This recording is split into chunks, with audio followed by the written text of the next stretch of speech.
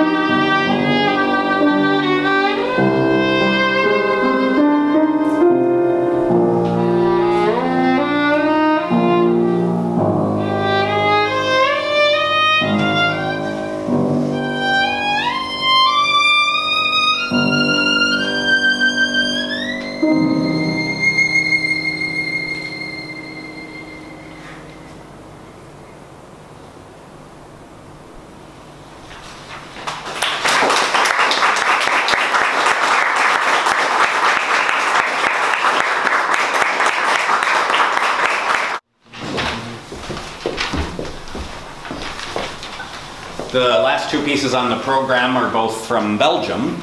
The first Lullaby and Prayer is by Ovide Musin, who studied with the guy who wrote the second one, Hubert Leonard.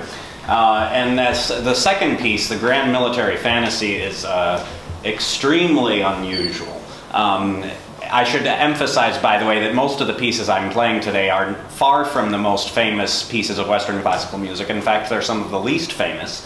And the reason for that being that uh, right after I uh, leave from here on June 27th, I have a recital in the US, the theme of which is music which um, I feel at least is undeservedly neglected. Now, maybe some of the pieces you have felt are deservedly neglected, I don't know.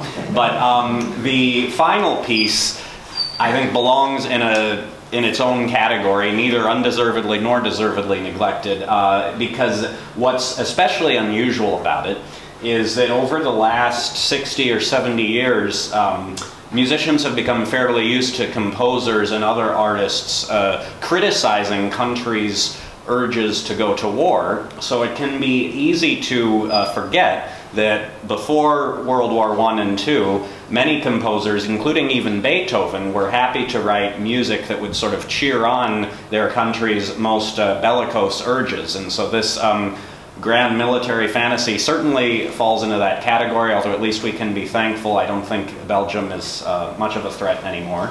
Uh, so I hope you enjoy these uh, last two pieces from, from Belgium.